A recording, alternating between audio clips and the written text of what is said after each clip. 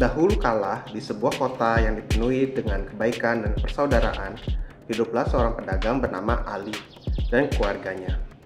Mereka tinggal dalam keramaian dan kedamaian dengan tetangga-tetangga mereka yang berasal dari berbagai suku dan agama.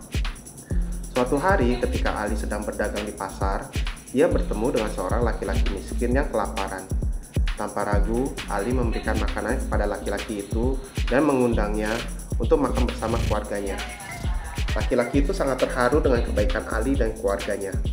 Setelah beberapa waktu, bulan Ramadan tiba.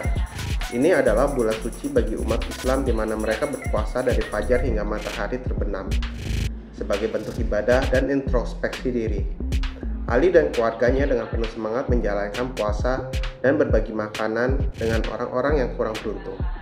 Ketika bulan Ramadan berakhir, tibalah hari raya Idul Fitri. Ini adalah hari kemenangan bagi umat Islam setelah menyelesaikan ibadah puasa selama sebulan penuh. Ali dan keluarganya bersiap-siap dengan penuh kegembiraan. Mereka membersihkan rumah, memasak makanan lezat, dan menyiapkan pakaian baru.